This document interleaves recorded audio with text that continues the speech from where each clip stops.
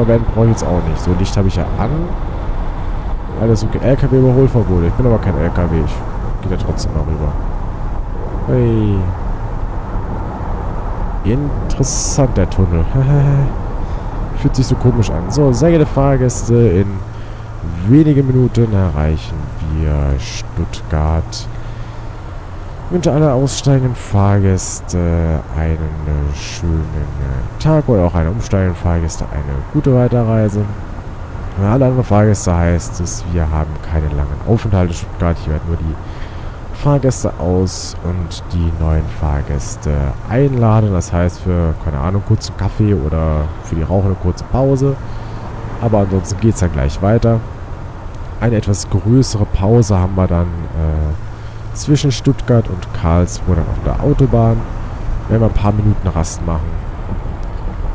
Aber jetzt geht es eben gleich weiter, ne? Und zwar erstmal bisschen durch Stuttgart. So. Und bitte bleiben Sie angeschnallt sitzen, bis wir äh, unsere endgültige Parkposition erreicht haben. So, bla, wollte ich auch mal sagen. Was wir aber noch sagen dürfen hier. Immer schön beschleunigen, Berg runter, sonst bleibst du stehen. Links rum, Stuttgart, B27, ja, das kann sein. Das ist rot, ja, das kann auch sein. Die fahren zu langsam, da ist rot. so, schwupps. Das kann ich noch einen Schluck trinken hier. Es wird wahrscheinlich noch ein bisschen gehen, bis da grün ist.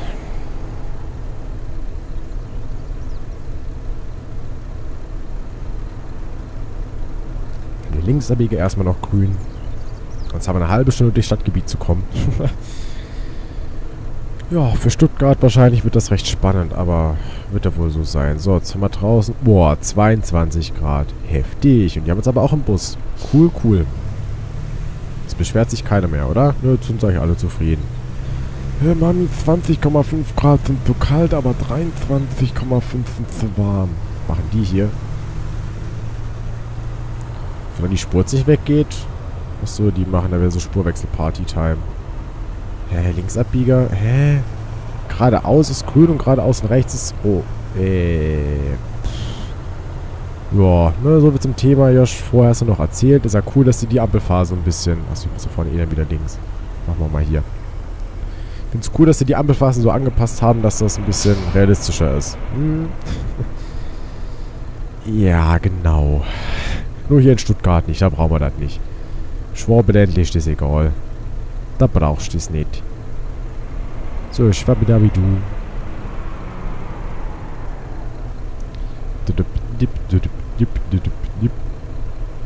Jetzt stehen wir hier. Jetzt können wir dann... Ja, wenn wir hier ausgeladen haben, aber ich kann jetzt schon mal ausmachen. Hier, ach, das ist gerade grün. Äh, aus. Ne, diese Frei Lichtfreigabe ist okay, aber... Dings braucht er keins. Oh, Leute. Ist grün.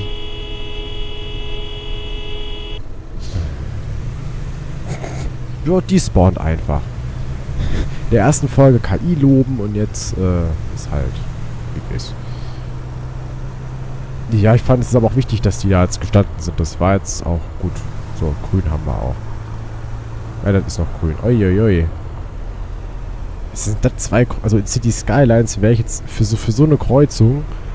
Ey, da wäre ich mit... Also mit Staus nicht unter zwei Jahren bestraft worden für so Kreuzungen, die zu einander liegen können, zu Staus führen. Ja, hm, hab bei mir in City Skylines gesagt. So wird nicht gebaut. Und es führt auch tatsächlich zu Staus, weil da genau zwei Autos irgendwie reinpassen. Ein halber Bus. Hm.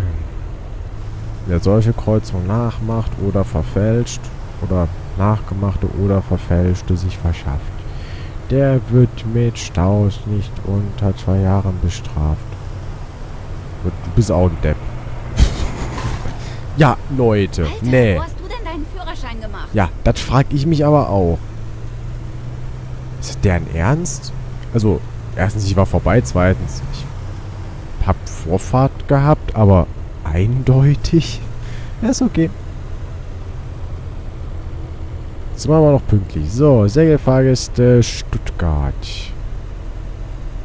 Zup. Stauen wir uns noch einmal dahin hier. So. Hauen wir den Gang mal raus. Motor lassen wir mal an, sonst wird den ja zu warm oder zu kalt da im Bus. Mi, mi, mi, mi, mi. Das kann ich blöd, wenn man aussteigt, aber Gepäck machen wir mal auf. Gepäcklug. Dankeschön. Ja, gucken wir mal. So, wo, wo wollt sie hin? Oh, sie schwanken aber. Morgens schon am Trinken, ey. Sie reden etwas leiser, aber passt schon. So, nächste bitte. Servus, ich hoffe, ich bin hier richtig. Ja, du bist ja richtig mit deinem verschwommenen QR-Code. Hier mein Ticket. Grüezi nach Karlsruhe, das ist okay. Da kannst zwar mit der Bahn hinfahren, aber... Was? Ich kann das nicht verstehen. Vielen Dank. Du da? Hier ist mein Ticket. Nee, nach Kassel fahren wir nicht. Menü. Ja, musst du alle richtig hinstellen. So, dann haben wir doch alles hier, ne? Sehe keinen Grund, hier weiter zu verweilen. Machen wir hier mal ein schönes äh, Aufnähmchen und dann können wir hier schon mal die Fahrt starten, ne? Jetzt haben wir dann... Ja, wenn wir Glück haben, können wir auch in Karlsruhe einfach die Pause machen oder wir machen es halt immer zwischendrin. Wir in Karlsruhe dann die Pause machen? Heißt, Fahrzeit wäre jetzt ja noch ungefähr 10.03 Uhr, sind knapp zwei Stunden Fahrzeit. Müssen wir mal gucken. Je nachdem. Wie so der Verkehr ist, mal wieder zu hier die Hütte. Zu die Hütte, Dankeschön. Und euch geht's gut hier, oder wie? Ja, sieht, sieht so aus. Die sind alle sehr zufrieden. So, Delle, was sagt denn hier der 2,6 Stunden? Nee, schaffen wir nicht. Heißt, wir gucken mal, wo wir denn rasten werden. Also Stuttgart. Wir können auch hier oben rausfahren. Warum fahren wir nicht die Bundesstraße hier lang? Ist doch viel cooler als hier. Das ist jetzt doof, da wieder zurück über die Autobahn. Wir fahren darüber. Viel, viel cooler. Also das heißt, wir fahren jetzt da den Kringel raus. Die erste Möglichkeit rechts und dann wieder rechts. Aber die B10, genau, die fährt nämlich parallel zur A8. Da kommst du auch hier nach Karlsruhe. Das machen wir doch mal. Ne? Dann können wir hier nämlich parken und rasten. Vielleicht. Wenn nicht, machen wir das einfach in Karlsruhe. Gucken wir mal. Also, hier raus, erst rechts, dann wieder rechts. Und dann stellt sich vielleicht immer mal das Navi um. So, Gang einlegen. So, dann machen wir doch gleich mal unsere Dingsansage hier, wenn wir da weg sind von dem Dingspunkt hier. So. Hallo und herzlich willkommen bei Flixbus. So, sehr geehrte Fahrgäste, herzlich willkommen äh, an Bord unserer Flixbusfahrt X05 nach Frankfurt Airport. Der nächste Halt wird sein in circa zwei Stunden Karlsruhe Fermus Bahnhof. Äh, pff, oh, keine Ahnung. Da auf der 8 viel los ist, fahren wir ein bisschen anders über die parallel verlaufende B10. Ich hoffe, das wird wir zeitlich aber trotzdem schaffen. Voraussichtlich die Ankunft ist 11.58 Uhr.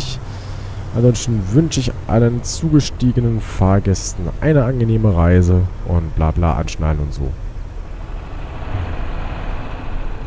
Was wird das jetzt hier? Fahr! Depp. Hm. Nein, das hat nichts mit der tollen Armbewegung zu tun. So lässt du mich vorbei, Kollege. Ja, mehr oder weniger. Aber hat ja gepasst. Achso, da komme ich gar nicht hoch.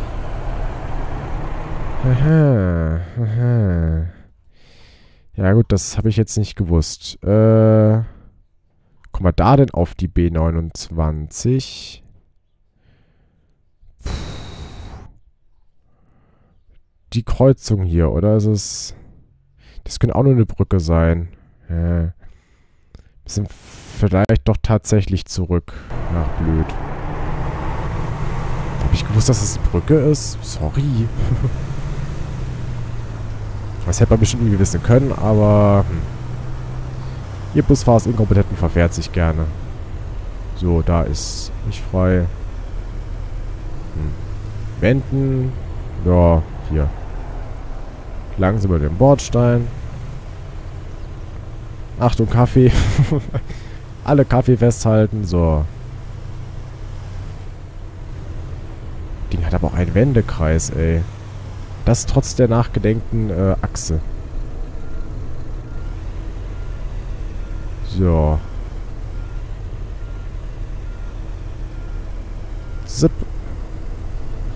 Macht das ja recht einfach, ne? So, ja, der Polizei, der ist dort egal.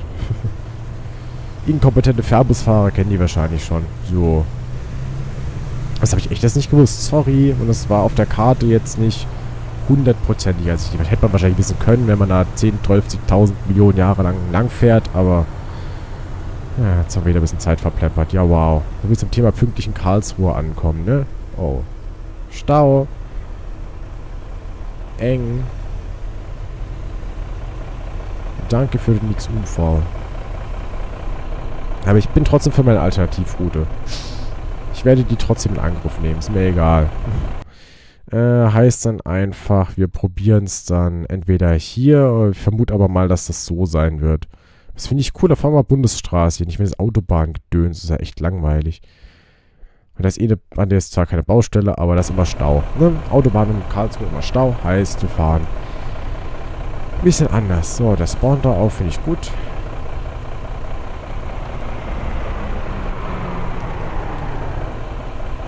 Jetzt kommen da zwei. Ach so, das ist. Hahaha.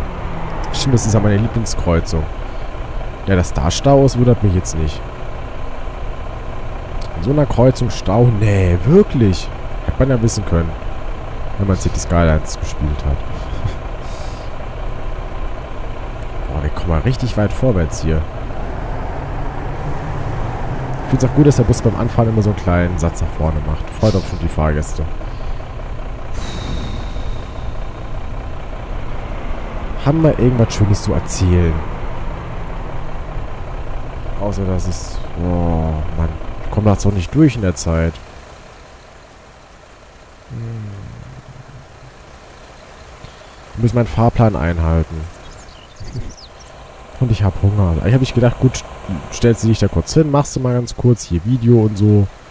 Drei Folgen vielleicht, so eine Dreiviertelstunde fährst du ja.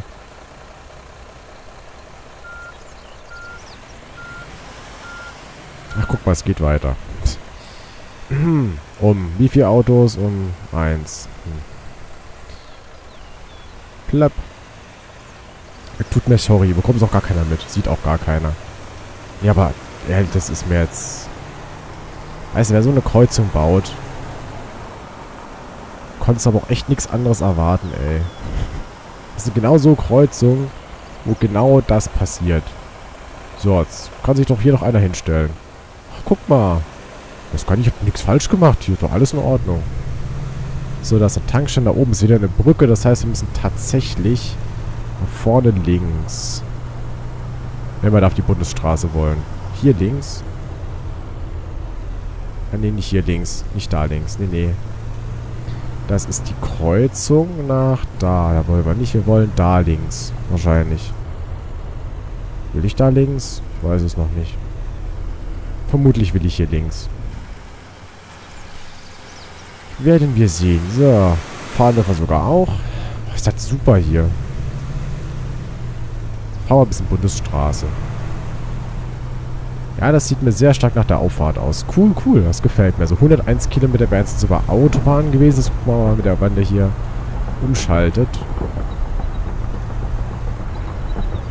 Oh, hier ein bisschen schnell vielleicht. Die schweben... Ach nee, die schweben nicht. Die da schon solche... Solche Dingsas, ne? Hui. Eine Karussellfahrt, die ist lustig. Eine Karussellfahrt, die ist schön. Und ich würde mich freuen, wenn der Navi sich irgendwann mal umstellt, was es nicht tut. Und deswegen muss ich selber fahren, aber das ist egal. Hier ist schön wenig los. So, ha. Bitches, yo.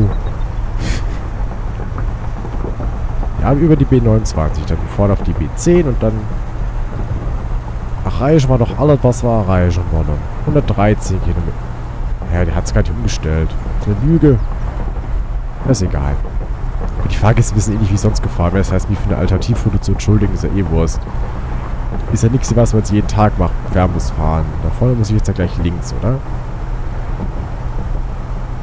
Nicht, dass ich was falsch mache. Äh, ist gleich da links. Ja, genau. Gleich da links und dann äh, weiter. So, linke Spur. Ach, guck mal, jetzt hat er umgestellt. Hey, ist ja fast genauso kurz. 98, 97 ab hier. Siehst du, fahren wir hier parallel auf der BC. So, linksrum, ach das. Ah. Nein, so Ampelkreuze sind immer 100. Hm. Da ist nie kurz davor mal so 70 Schild oder so. Nee, nee. Mhm. Ist alles eine Lüge des Systems. Hm. Also wie das Wetter beeinflusst wird und ich ebenfalls Mitglied der Lügenpresse bin. Ach, keine Ahnung. Ist das schön, ne? Fahrgäste, ihr fühlt euch wohl da, oder? Habe ich schon Hallo und herzlich willkommen bei Flixbus. Gemacht, spätestens jetzt. So, links abbiegen ist auch nicht mehr heute. Hm, gut. Das vielleicht mal aber. So, jetzt haben wir immer noch 22 Grad und 3,1 Stunden Lenkzeit. Äh, ach, danke. Wollte gerade sagen, werden wir links abbiegen irgendwie benachteiligt oder so, aber geht. So, dann rasten wir einfach an der nächsten Rast und dann ist gut. Bevor ich ausraste. Und selbst wenn wir jetzt ja auch unsere 100 fahren auf der Bundesstraße, dann ist okay. Aber eigentlich eine ganz blöde Frage. Was kann man hier überhaupt machen? Legende öffnen. Ah, nee, sag an. ähm, da wird doch fast nie jemand langfahren. Außer er fährt von Karlsruhe nach Regensburg. Aber sonst ist das hier doch fast tote. Also es gibt generell so ein paar Strecken, wo ich bedenke, das ist doch tote Strecke. Da wird nie jemand langfahren. Da zum Beispiel, so viele tote Strecken, die wird nie jemand benutzen. Nie. Never. Weil es einfach keine Route gibt, die da direkt lang führen würde. Irgendwie. Es ist da. Aber gut. Gerade Mitteldeutschland irgendwie.